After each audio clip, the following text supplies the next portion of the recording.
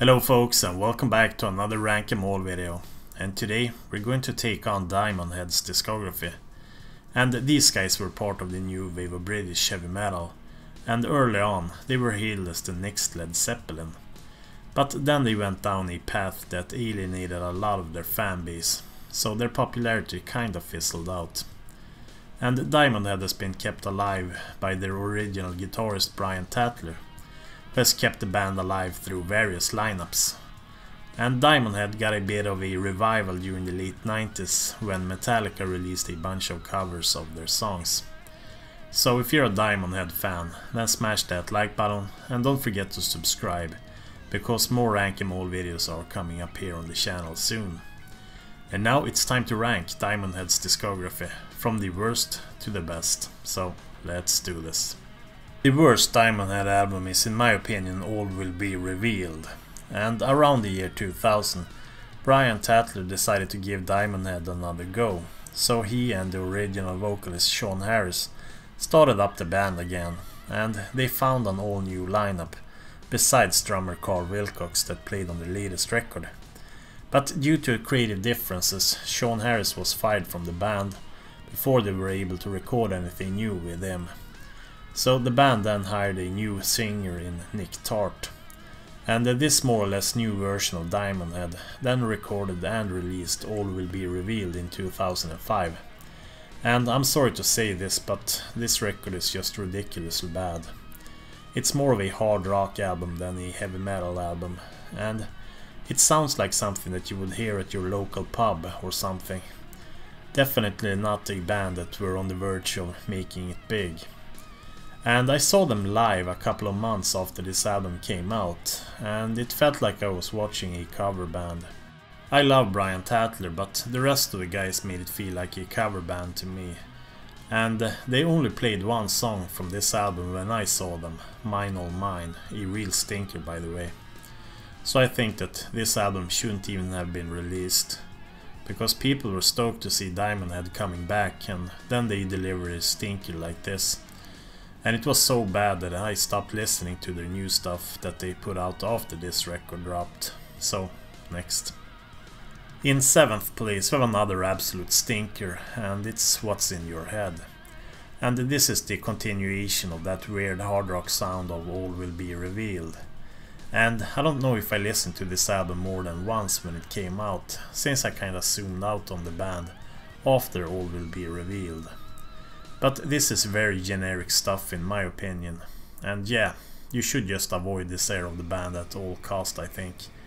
There are no redeeming qualities to these albums at all. It was just a disgrace. So, next. In 6th place we have their self-titled album Diamond Head that came out in 2016. And this album was a bit of a surprise to me, because I expected the band to be completely dead creatively since more or less everything that they put out in the last 20 years was terrible. Diamond Head then switched vocalist from Nick Tart to Danish-born Rasmus Andersen, and the new guitarist in Andy Abberley also joined the band. It was surely a big improvement on those early 2000 records, and Brian Tatler's guitar play is recognizable here, so the essence of Diamond Head was restored to some sense. But the band sounds very different from how they used to sound back in the day, mainly due to the modern production of this album and the fact that the vocals on this album is very different from the classic era of the band. And I think that this sounds alright, but as I said, it's very different, so next. In fifth place we have the Coffin Train from 2019, and this is an alright hard rock slash heavy metal record. It doesn't sound that much like the Diamond Head that I fell in love with, but at least this is more metal sounding than some of the weak releases during the early 2000s. Is it just me or does their vocalist Rasmus Andersen sound a bit like Soundgarden's Chris Cornell here? I think there is a bit of that tone in his vocals. And I think it's cool to see that the band finally got their shit together and that they managed to put out better albums of late even if these new records hardly has anything to do with the band that once recorded Lightning to the Nations. So, next. In fourth place we have Death and Progress from 1993. and this was the last album to feature their original vocalist Sean Harris. And for me personally, I need both Sean Harris and Brian Tatler in the lineup. Otherwise, it's not the real Diamond Head to me. And uh, this was the band's comeback album since it was 10 years since their last release, Canterbury. And uh, this is a continuation of that hard rock sound of Canterbury to some degree. And the most notable thing about this album is actually the guest appearances. Diamond Head actually managed to get Tony Iommi of Black Sabbath to play the guitar on the track Starcrossed Lovers of the Night, and Megadeth's Dave Mustaine to play on the track Truckin'. And Dave Mustaine is an old fan of the band, but I seriously question their judgment here, because this album is far from good, even though Truckin' is one of the better songs on the album. So, next. In third place we have Canterbury from 1983. And this album was criticized back when it came out, because the band went in a softer direction after their first two records. And there is a lot of cheesy, uninspiring hard rock tunes on this album. But there are a few tracks worth checking out, like Ishmael and The Kingmaker. But the best song on the album is To the Devil His Due, which has this kind of mysterious Black Sabbath vibe to it. This album was a bit weird though, it has this kind of folky feel to it, and as I mentioned earlier it's way softer than their previous albums. And I remember Lars Ulrich of Metallica, he was unhappy with this album in an interview. He thought that they sold out here, and it's definitely some truth to that, even if this album has its moments. So, next. In second place we Borrowed Time from 1982, and this was the follow-up to the band's successful debut album Lightning to the Nations. And for some reason they decided to include two songs from that album on this record as well. So Am I Evil and Lightning to the Nations was re-recorded for this album. So there are only 5 new songs on Borrowed Time, and Call Me is one of those songs and it sounds a bit like contemporary Rainbow. It was definitely a song that they tried to win some mainstream attention with. And the title track Borrowed Time and In the Heat of the Night had a few cool riffs in them. But I think that the decision to include two songs from their debut album on their follow-up was a bad decision. It was like it was over already and they wanted to look back on their successful debut I mean, Iron Maiden wouldn't have re-recorded songs from their debut and put it on Killers. That wouldn't have made any sense at all, and I don't think it makes sense here either. So even if I hold this as their second best album, I still think it was a slight letdown from their debut. And the absolute best Diamond Head album is of course Lightning to the Nations from 1980.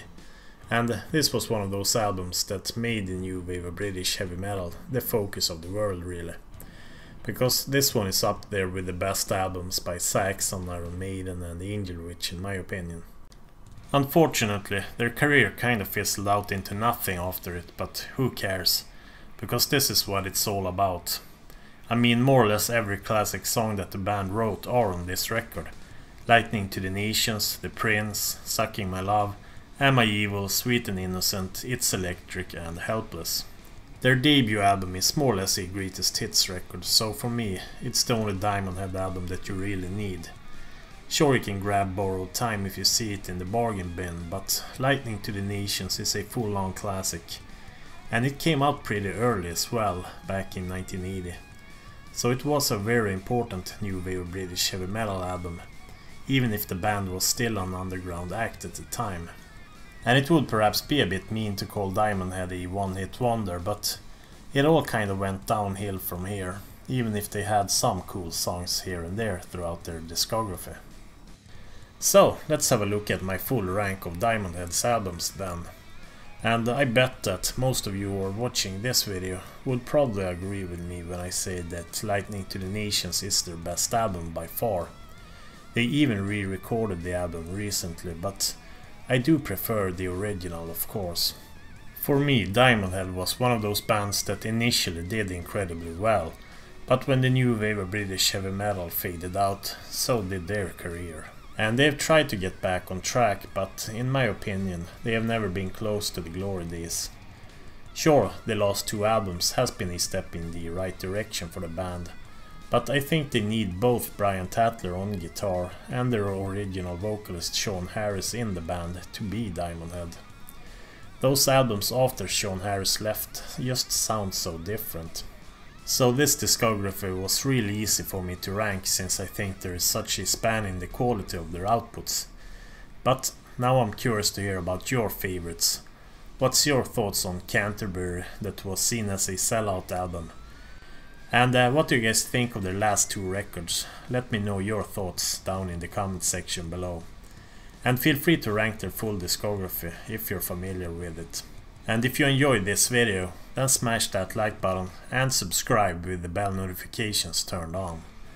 And if you wanna support my work, then you can become a Patreon. Or you can always go and show some support by grabbing a shirt at the Ruthless Metal store. And I'm on Discord, Facebook and Spotify as well, so check those links out down below. And uh, let me know whose discography I should take on in the next episode of Rank 'em All. And uh, that's all folks, thanks for watching, and I'll catch you guys in the next one. Bye bye.